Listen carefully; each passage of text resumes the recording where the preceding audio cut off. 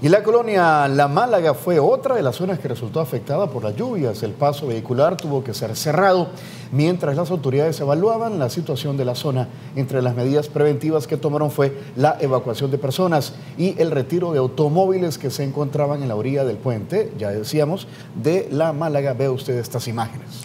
El director de Desechos Sólidos de la Alcaldía Municipal de San Salvador se hizo presente en el lugar prácticamente desde el día lunes que inició el tema de la depresión y que hemos tenido lluvias constantes, le hemos estado dando seguimiento a todas estas zonas con todo el Comité de Protección Civil Municipal que está definido en cada una de las colonias y las comunidades. Tenemos el monitoreo inmediato a cualquier emergencia para atenderla.